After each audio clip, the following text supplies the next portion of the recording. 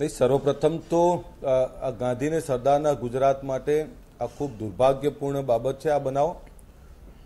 જો ગુજરાતની શાંતિ સમૃદ્ધિ સલામતી અને વિકાસ કોઈને આભારી હોય તો એ આ દારૂબંધીના કારણે છે. આ ગાંધીના સરદારના ગુજરાતમાં દારૂબંધી છે એટલે આપણે બધા ખૂબ સુખેથી જીવીએ છીએ અને ખૂબ વિકાસ કરી રહ્યો છે ગુજરાત. પરંતુ આવા જે બનાવ બની રહ્યા છે આ ભદ્ર સમાજ માટે ખૂબ ચિંતાનો વિષય છે. આ ભદ્ર સમાજ એટલે શબ્દ યુઝ કરું છું. કે આજે સુખી સંપન્ન લોકોમાં ફેશન બનતી જાય છે.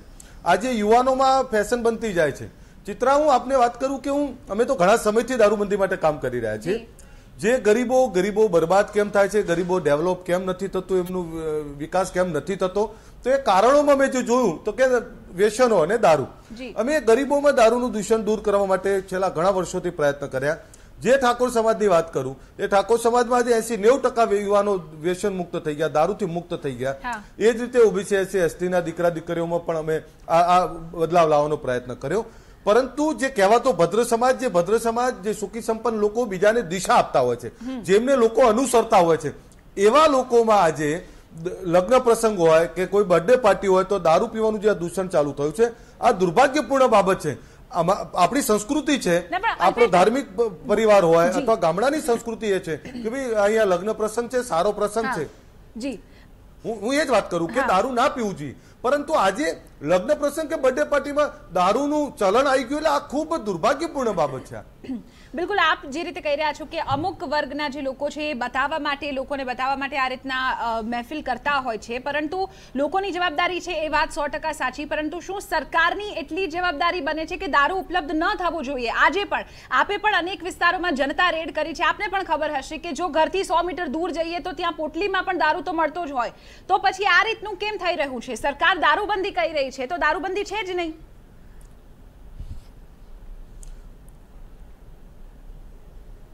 ચિત્રા પહેલા તો કીધું કે આ કોઈ એક સમાજ કોઈ એક વર્ગને સંબોધીને નથી કહેતો હું. જે કહી રહ્યો છું એ સુખી સંપન્ન લોકોને સંબોધીને કહી રહ્યો છું. કારણ કે આજે સુખી સંપન્ન લોકો એવું માને છે કે અમારા રૂપિયા ખૂટવાના નથી. હું આપને કહું જે ગરીબો ગરીબ બન્યા પહેલા સુખી જ હતા. આજે અમદાવાદ ને ગાંધીનગરની જમીનો મોટાભાગની ઠાકોરો જોડે હતી. પણ આ દારૂના દૂષણના કારણે અમે જો જમીનો ગુમાય છે વાયલ દીકરાઓ ગુમાયા છે નાની ઉંમરમાં અમારી દીકરીઓને વિધવા થતી જોઈ છે તો આ બીજા પણ એ મારા જ દીકરા દીકરીઓ છે. આજે કોઈ ગુજરાતમાં સર્વ સમાજના દીકરા દીકરીઓ એ મારા તમારા આપણા છે. એટલે નંબર એક કે આ કોઈ એક વર્ગને કોઈ એક સમાજને સંબોધિત નથી કહેતો. સુખી સંપન્ન લોકોને સંબોધિત કર્યો છું. નંબર બે આને માત્ર શું સરકારને જવાબદાર ઠેરવી આ સરકારની જવાબદારી છે. પોલીસ તંત્રની જવાબદારી છે. હું ચોક્કસપણે કહું છું. પરંતુ પોલીસ તંત્રની જવાબદારી સાથે સરકારની જવાબદારી સાથે સામાજિક લોકોની જવાબદારી છે. મારી તમારી આપણી જવાબદારી છે. આમાં તમામ લોકોની જવાબદારી છે ધાર્મિક વડાઓની પણ જવાબદારી છે. આપણે ત્યાં કોઈ જગ્યાએ દારૂ વેચાયેલ આપણે તરત ભ્રષ્ટ અધિ- અધિકારી ઉપર આક્ષેપ કરીએ છીએ. તો એ રાજકીય લોકોની પણ જવાબદારી છે. જે તાલુકા પંચાયત જિલ્લા પંચાયત કે સરપંચ કે ધારાસભ્ય કે સંસદ સભ્ય જો આ લોકો રાજકીય વાળા બોલીને નક્કી કરે કે આપણે દારૂ નથી વેચાવા દેવો દારૂ નથી પીવા દેવો તો આ રાજકીય લોકો પણ મક્કમ થાય તો પણ દારૂના દૂષણને બહુ નાથી શકાય. એટલે આના માટે ભ્રષ્ટ અધિકારીઓ પણ જવાબદાર છે. દારૂ દારૂ મળી રહ્યો છે કહેવાતા ભ્રષ્ટ સૌથી મોટો સવાલ છે કે દારૂ ઉપલબ્ધ કેમ થઈ રહ્યું છે? સરકાર એક રીતે કહી રહી છે કે રાજ્યમાં દારૂબંધી છે સાથે પોલીસ પણ મક્કમ છે કે દારૂબંધી અમલી કરાવવામાં આવશે. તો દારૂ ઉપલબ્ધ કેમ થઈ રહ્યું છે? લોકોની જવાબદારી આપની વાત ખૂબ જ સો સો ટકા સાચી છે. પણ ઉપલબ્ધ કેમ થઈ રહ્યો છે આટલો બધો દારૂ?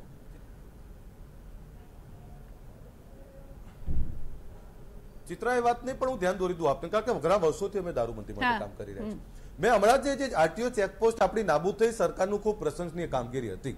પરંતુ એ સાથે મેં સવાલ પણ ઊભા કરેલા કે સરકારે આ કર્યું છે અને આવકારીએ છીએ. પરંતુ સાથે એ પણ આપણે સ્વીકારવું પડે કે આ બોર્ડરો પરથી જ્યાંથી દારૂ આવે છે એ બોર્ડરો સીલ કરવી પડે. બોર્ડર ઉપર પોલીસ નાકાબંધી કડક કરવી પડે સીસીટીવી લગાવવા પડે અને શંકાસ્પદ વાહનોની ચેકિંગ કરવું પડે. બોર્ડરો હમણાંથી થોડી ખુલી થઈ છે એટલે તમે કલ્પના કરો આખું કન્ટેનર ભરીને દારૂ પકડાય. હું હું રાધનપુર સમી સાંતલપુરમાં જ્યાં દારૂ પકડાયો છે હું એ વાઘેલા સાહેબ ડીવાયસપી ને શાંતિ ઓળખું છું. ખૂબ ઈમાનદારીથી ત્રણ ચાર વર્ષથી ઓળખું છું ખૂબ ઈમાનદારીથી કામ કરીને એમણે દારૂ પકડ્યો છે. એટલે હું એમને અને પાટણ પોલીસને અભિનંદન પાઠવું.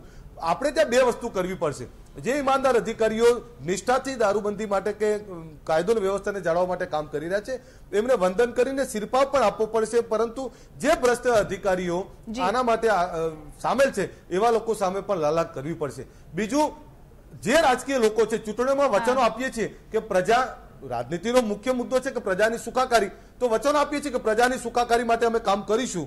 તો આ પ્રજાને પીડા આપતો પ્રશ્ન છે. ભર યુવાનીમાં યુવાન મરી જાય વિધવા થાય દીકરી અને એ પરિવારો બરબાદ થતા તો એની સુખાકારીની ચિંતા કરવી પણ રાજકીય લોકોની જવાબદારી છે. આ કોઈ ભાજપ કોંગ્રેસની વાત નહીં કરતો. તમામ રાજકીય લોકોની વાત કરું છું. હું સ્પષ્ટપણે સભાન અવસ્થાઓથી કહું છું ભ્રષ્ટ રાજકીય નેતાઓ અને ભ્રષ્ટ અધિકારીઓની મિલીભગતથી આ થાય છે. પણ અલ્પેશભાઈ, આપ માનો છો પ્રબુદ્ધ નાગરિકો જે રાજ્યની સમાજના ખોલી નાખી છે એની પાછળ આ એવા લોકો સૌથી મહત્વપૂર્ણ કારણ હોઈ શકે છે. કારણ કે આ પહેલા જે રાજ્યની સીમા હતી જે સરહદો હતી તે ચેકપોસ્ટથી એક રીતે એ પણ કારણ છે. હા. તો એ એ શા માટે એને લઈ લેવામાં આવી ચેકપોસ્ટ એનાથી ઓછી જે આ પ્રકારની ઘટનાઓ બનતી હતી એને ચેકપોસ્ટ ચિત્રા, હટાવીને વધી ગયું. હું એ જ કહું આપને. ચિત્રા હું આપને એ જ કહું કે પહેલા ચેકપોસ્ટ હતી જ. એના કારણે થોડુંક ઓછા પ્રમાણમાં આવતું કારણ કે બુટલેગરોમાં ભય હતો. પરંતુ આ ચેકપોસ્ટ ખુલી છે એટલે બુટલેગરો થોડાક બેફામ બન્યા છે. નંબર એક હું આના માટે જે કારણ કહું છું આપને કહું. કે ભ્રષ્ટ અધિકારીઓ આની અંદર જવાબદાર છે સાથે ભ્રષ્ટ નેતાઓ જવાબદાર છે. આ બેની જવાબદારી છે. બીજો આ મુદ્દો સામાજિક મુદ્દો છે. આ સામાજિક મુદ્દા માટે જે ભદ્ર સમાજના જે બુદ્ધિજીવી લોકો ચૂપ બેઠા છે એમણે વિચાર્યું જ નહીં કે આજે આ ગરીબોમાં દૂષણ છે કાલે અમારા ત્યાં આવશે. આજે હવે સુખી સંપન્ન અને ભદ્ર સમાજમાં દૂષણ ચાલુ થઈ ગયું. એટલે આના માટે મુખ્ય ત્રણ લોકો જવાબદાર છે. એક ભ્રષ્ટ નેતા ભ્રષ્ટ અધિકારી જવાબદાર છે સારે. સાથે સારા લોકો પણ એટલા જવાબદાર છે કે કંઈ બોલતા નથી.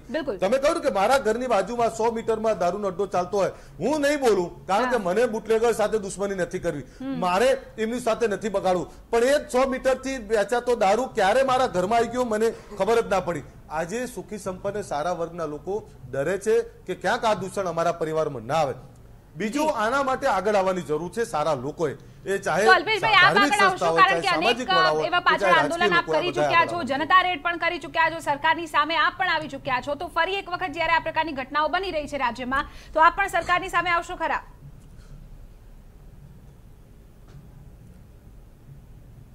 ચિત્રા હું થોડોક ટાઈમ હતો વિસ્તારથી થોડું કહું હું બિલકુલ હા. કે જ્યારે જનતા રેડ પાડતા ત્યારે મારા યુવાનોને બુટલેગરો અને ભ્રષ્ટ અધિકારીઓની મિલીભગતથી એને ફસાઈ દેવામાં આવતા. તો મેં મારા યુવાનોને એ વખતે એવું કહેલું કે આપણે જનતા રેડની જનતામાં બદલાવ લાવીએ. અને એ જ જનતાના બદલાવના કારણે આજે એસી નેવું ટકા ઠાકોર સમાજ અને ગરીબોમાં બદલાવ આવ્યો છે. સાથે આપણે કહું કે હું તો આને મુદ્દાને બહુ દિલથી અપનાવેલો છે અને આને દૂર કરવા માટે ખૂબ પ્રયત્ન કરું છું. પહેલા પણ લડ્યો છું અને આવનારા સમયમાં પણ લડીશ. અમારી દરેક સભામાં બે સૂત્રો હોય છે. દારૂ છોડો શિક્ષણ અપનાવો. એટલે. આવનારા એપ્રિલથી અમે નુક્કડ નાટકો કરવાના છે શેરી નાટકો કરીશું યુનિવર્સિટીઓમાં જઈશું કોલેજોમાં જઈશું સાથે જે મોટી શ્રેષ્ઠ સંસ્થાઓ છે આજે અમારી અમારો વેલ્લાદ પરિવાર અમારો સદારામ પરિવાર અમારો ભાથીજી પરિવાર આ માટે કામ કરી રહ્યો છે. સાથે અપીલ કરું છું એ મા ઉમિયાના પરિવારને મા ખોડેલના પરિવારને એ એ સાથે જૈન પરિવારો ચાહે વડવાળા પરિવાર હોય આ બધા જ લોકોને અપીલ સાથે ત્યાં જવાના છે. એમનો પણ સહકાર લઈશું. લડીશું એ ભ્રષ્ટ નીતિઓ સામે લડીશું ભ્રષ્ટ નેતાઓ સામે સામાજિક રીતે તો સામે લડીશું. પણ આ લડત બતાવી રહ્યા છો કે સરકાર- કઈ રીતે લડત આપશો? પણ સરકારની સામે આપ કઈ રીતે જશો? કોઈ આંદોલન કરશો સરકારની સામે કોઈ રજૂઆત કઈ રીતે કરશો? સરકારનું સો ચિત્રા સરકારને રજૂઆત કરીશ કે સરકાર અમે જે કડક કાયદો બનાવવામાં આગળ આવે કડક કાયદાનું અમલવારી કરે બોર્ડરો સીલ કરે અને એ ભ્રષ્ટ અધિકારીઓ સામે કડકમાં કડક કાર્યવાહી કરે. પરંતુ હજુ પણ ચિત્રા કહું કારણ કે હું છેલ્લા દસ વર્ષથી આ મુદ્દા માટે લડી રહ્યો છું. આ કોઈ રાજકીય મુદ્દો નથી અને સામાજિક રીતે જોડવાની જરૂર છે. જો. રાજકીય આક્ષેપ પ્રતિ આક્ષેપ થશે તો મુદ્દો ક્યાંક કોરાણે મુકાઈ જશે. એટલે ભ્રષ્ટ આમાં તમામ સારા નેતાઓ સારા અધિકારીઓ સારી સંસ્થાઓ સારા સામાજિક શ્રેષ્ઠીઓ આ બધાએ આગળ આવવાની જરૂર છે. અને આપણે સ્વીકારવું પડે કે આ ગાંધીના સરદારના ગુજરાતમાં દારૂબંધીના કારણે આપણે બધા સમૃદ્ધ છીએ, સલામત છીએ. સાથે જે સમવાય સંપ્રદાય સારી રીતે કામ કરી રહ્યો છે, જે સ્વાધ્યાય પરિવાર કામ કરી રહ્યો છે, જે અમારા સદારામ બાપાની જે જન્મ જયંતિ છે, એ સદારામ બાપા સિત્તેર વર્ષથી ભજનના માધ્યમથી લાખો લોકોને વ્યસનમુક્ત કર્યા એવા લોકોએ આગળ એવી સંસ્થાઓ આગળ આવવાની જરૂર છે. બિલકુલ.